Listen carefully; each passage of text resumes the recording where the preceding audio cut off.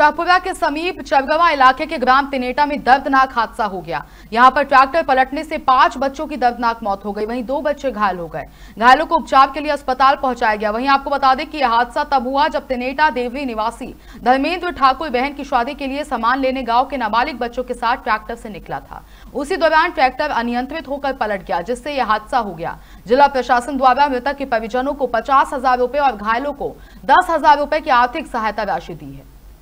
ये थाना चरगवा क्षेत्र में ग्राम तेनेटा के पास एक ट्रैक्टर दुर्घटना हुई है, जिसमें पाँच बच्चों की मृत्यु हो गई है।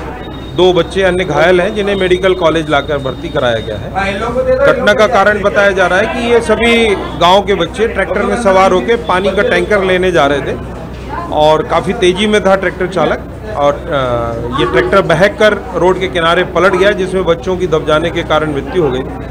दो बच्चे जो ट्रैक्टर से फिक गए थे, वो बच गए हैं घायल अवस्था में उनको लाया गया उनका उपचार यहाँ मेडिकल हॉस्पिटल में किया जा रहा है।